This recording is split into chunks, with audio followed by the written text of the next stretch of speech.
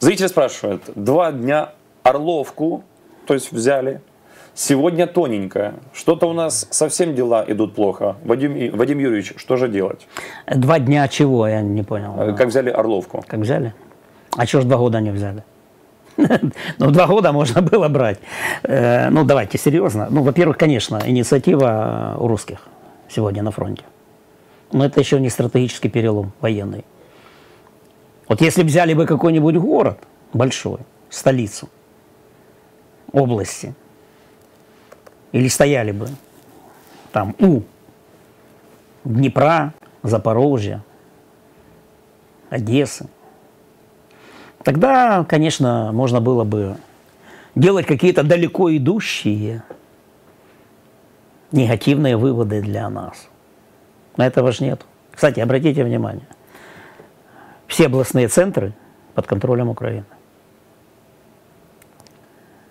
Все. Да, расширяют там зону, выравнивают фронт, расширяют территорию ДНР, Донецкая народ. Она же только из всех оккупированных территорий или так называемых субъектов ныне Российской Федерации, только Луганская область или ЛНР, 99% территории это не контролирует Украина. По Донецкой области, Авдеевку, ну да, оттеснили от от Авдеевки, но Авдеевка это пригород Донецка, между прочим. Город-спутник, Донецк. Так. А возьмите Запорожскую область, Херсонскую область, Донецк. Поэтому, да, это факт, военный, реалистический факт, но какие-то глубокомысленные, далеко идущие и тому подобное выводы, но делать как минимум рано. А с моей точки зрения не нужно. Посмотрим, как они дальше выровняют фронт, как мы успеем подготовить новые позиции. Кстати, там есть проблемы, судя по тому, что говорит Порошенко, что только 10% фортификационных сооружений ну, в нормальном виде. Но если я так понимаю, сейчас мы строим 2000-километровую фортификационную линии, линию, да. Но фактически это, скорее всего, такая линия будет э, временная граница. Временная граница. Ну, то есть рубеж, то, что мы говорили в прошлый Да-да-да, раз. только хотел Фронтир. Фронтир. Потому что э, слово фронт – это слово фронтира. А когда территория э, дем- демаркации нет территории, границ. В средневековые времена не было границ между государствами, вот ныне европейскими. Были марки. Поэтому слово демаркация называлось это марка, условная граница. Там владение условное там герцога Бургундского и э, хозяина Иль-де-Франс, там, где Париж был. Так, условно. Поэтому слово демаркация. Лимес – это слово же есть граница, так, это морская больше делимитация. А демаркация, граница, это от слова того, что устанавливается четкая граница. Уже не рубеж, не фронтир, не марка, а граница. Но вот э, зацикленность на границах – это вообще-то европейская стратегическая культура. А на всех остальных пространствах это, поскольку модель национального государства европейского была взята на глобальном юге, в Латинской Америке, еще где-то, поэтому проблема границ решалась очень долго. Вот 2000, если 2000 километров, ну это понятно, белорусская часть, белорусское направление, так, э, уже там есть. Плюс вот эти 2600 километров у нас протяженность границы была с Российской Федерацией. Но если 2000 километров поныне, это временная. Временная. Будем называть это временной границей. А брать большие города не будет никто, тактика изменилась. Если все населенные пункты маленькие вокруг Харькова будут российскими, что же будет тогда в Харькове? Ну, делать? подождите, я же не говорю, что это, так обойти их надо. Так они же не, обо- не обошли. Ну, понятно, что не будут брать города. Так? Но надо их обойти еще. Ну, попробуйте обойти. Почему Харьков не обошли? Ну, почему Харьков не обошли? Сколько раз говорят, э, полгода уже так, даже больше года, Да. говорят о санитарной зоне или зоне безопасности на э, как там, Белгородское приграничье. Или на сев- северное приграничное, приграничье России. А почему не сделали? А потому что не так просто это сделать. А как его сделать? А мы, мы, мы подумаем, как говорил Путин, так? Есть соображения, есть идеи, но он же не сказал как. Потому что они сами до конца не понимают, как, как обеспечить эту санитарную зону, зону безопасности и так далее. Каких услов- Это можно договориться только в переговорах, между прочим, о возможной зоне безопасности. Чтобы не было опасности для Украины, не было опасности для России. А можно договориться.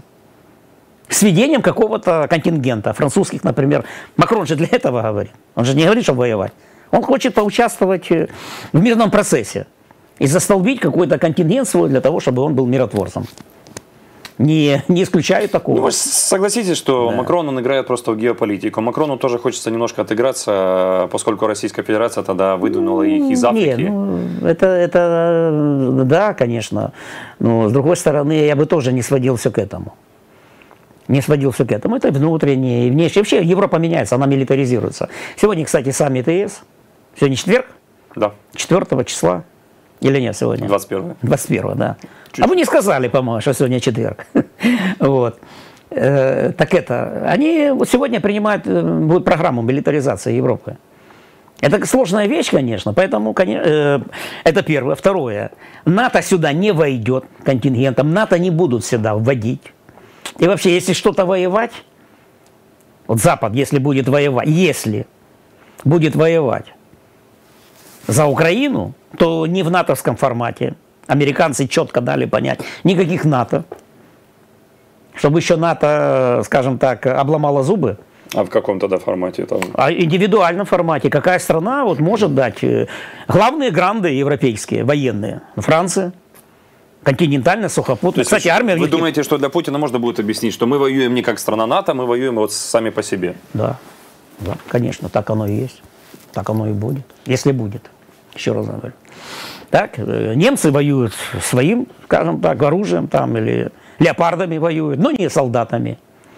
Ну и, и Макрон тоже солдат сюда не пришлет. Воевать, погибать. Он пришлет сюда, чтобы они тут ходили в хорошей форме, э, ну, как они были в этом, в Одессе в 18 году. Так по кабакам шлялись. Так и тут, миротворцы. Потому что он же понимает, один гроб, два гроба и все. И его политической карьере, или его политической партии, или его этих наследников, преемников, Атали, или там кто там, э, Сен-Журме, им конец. Вот. Поэтому не будет этого делать. Воевать не будут. Они не хотят погибать. Вадим Юрьевич, но я все-таки вернусь к началу Ну, давайте, нашего э, разговора и в целом Не, поэтому я как бы вопрос правильный, вот человек пишет, так, но если говорить э, со стратегической точки зрения, это пока бои локального значения. Авдеевка, да, тут можно сказать, что да, фронт начал двигаться в, э, в нашу сторону, так, мы отступаем. Не бежим, мы постепенно отступаем, отходим, как это можно сказать. Провала нет фронта. Но говорить о том, что потеря Орловки, Тоненького или что там еще, как бы, давайте, Бердычи, что там еще, эти слова уже весь мир знает, так? Вот, что это перелом на фронте, нет. Ну, понятно, их задача сейчас на данном этапе, э, первое, это выровнять фронт, а он выравнивается, если посмотреть дальше, это выйти на границы ДНР и ЛНР, а это главное для них что? Курахово, Славянск, Краматорск. Вот это, на эту агломерацию, так, треугольник агломерационный. И потом уже, а может одновременно с этим, готовить большое наступление. Вот они сейчас готовят большое наступление. Вчера ехал я по дороге, смотрю машины с мигалками через две сплошные по встречной полосе. Думаю, снова кто-то приехал. Как оказалось, да. Советник президента США по национальной безопасности Джейк Салливан посетил Киев с необъявленным визитом. Он выступил на совместном э, брифинге с главой Офиса президента Украины. Среди прочего, американский чиновник ответил на вопрос журналиста о том, как скоро может быть одобрен новый пакет помощи. Есть у администрации Байдена план «Б» на случай, если Конгресс так и не примет законопроект. Ну и в целом многие задавались. Это то, что озвучил Салливан. Реальная надежда на поддержку Соединенных Штатов Америки? Или уже Соединенные Штаты Америки занимаются неким как самовнушением, то, что они готовы продолжать помогать? Э, А какая там поддержка? Атакамса нет. Дальнобойные ракеты. этого помощи бюджетной 60 миллиардов долларов нет. Ну, говорят там как бы республиканцы. Послали сюда Линдси Грэма объявить помощь в обмен на ну, кредит, помощь. Даже беспроцентный, но кредит отдавать надо. Вот это 60 миллиардов, это отдавать не надо, которые планировались. Еще с декабря месяца, кстати, с конца ноября месяца планировалось. А же сегодня что? Начало апреля, да, скоро будет? Сколько месяцев? Четыре месяца, кстати говоря, в ноль. Ну, последние там 300 миллионов. И то несущественно. Так, дальше что? Патриоты есть или нет в этой помощи, которую объявил Салливан? Нет. Ну нет, а нам они нужны. Мы же видим вот по сегодняшнему. Так, и вообще, э, последнее время там, по-моему, два патриота были уничтожены. Поэтому э, он приехал, Салливан, отформатировать, найти приемлемые для всех формы окончания войны, финализировать ее. Но так, чтобы это как бы не рассматривалось или не было поражением, а, а как выиграть мир. Вот и все. Как выиграть мир. Потому что если, войну, вы, если вы не можете выиграть войну абсолютно, победить, значит, надо выигрывать мир. Любой, любая же война, она же за мир ведется. За послевоенный мир, так называемый. Война же ведется не ради войны, а ради того, чтобы обеспечить себе лучшие условия для последующего мира, послевоенного мира, условия безопасности, например, условия для экономики и так далее. Вот. И э, вот это он же сказал на пресс-конференции. Первое, Россия уже проиграла. Угу. Так, намек, что, ребята, раньше как говорили, Россия, России должно быть нанесено стратегическое поражение взятием Крыма. А уже нет, она уже проиграла. А Крым, Крым-то в России, территории оккупированные за Россией, так, но она уже проиграла. Это сигнал, что надо сворачивать крымоцентризм войны. Я так называю, крымоцентризм. Выход на границы 91 -го года. Потому что действительно, для того, чтобы выйти на границы 91 -го года, и, а для этого надо взять Крым, как сказал Стивен Коткин, есть такой хороший политолог в Стэнфорде. Он, кстати, это он ввел термин «силовики». Он специалист по России. Это он ввел термин «силовики». Я когда-то читал его очень давно, когда только Путин пришел к власти. Он, это вот его термин.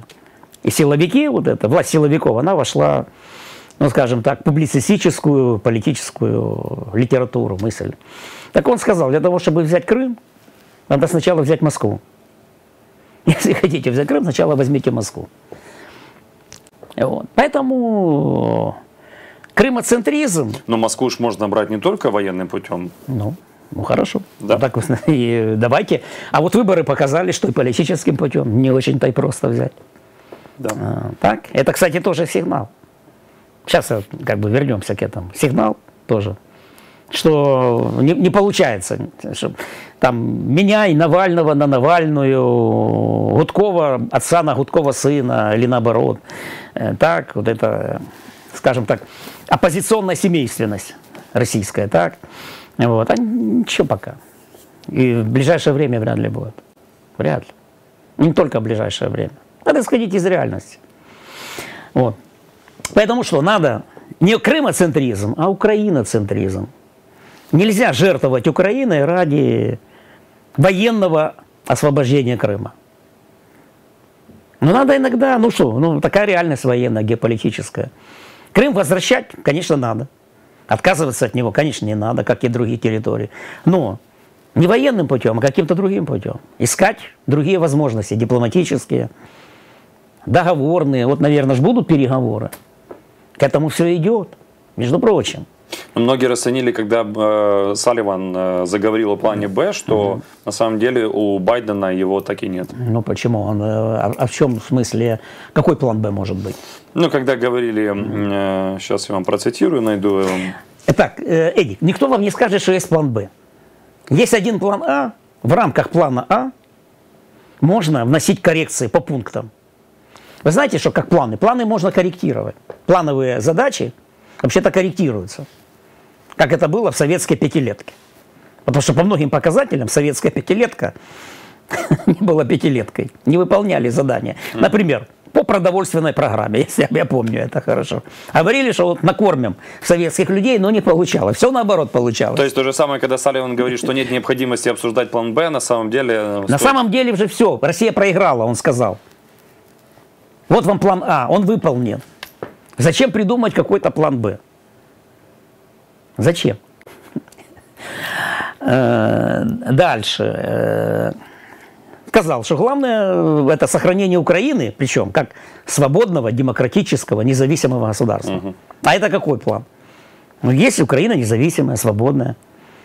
Только надо еще демократические институты, чтобы заработали. Поэтому можно, может быть, и к выборам надо готовиться уже. Залужного, мы что, разрешили вам Залужного снять и отправить в Британию? Конкурента нет, так что можно и на- к выборам, наверное, готовиться. Так, конкурента же нет у Зеленского сейчас. Я считаю, что нет пока. Может появится, не знаю.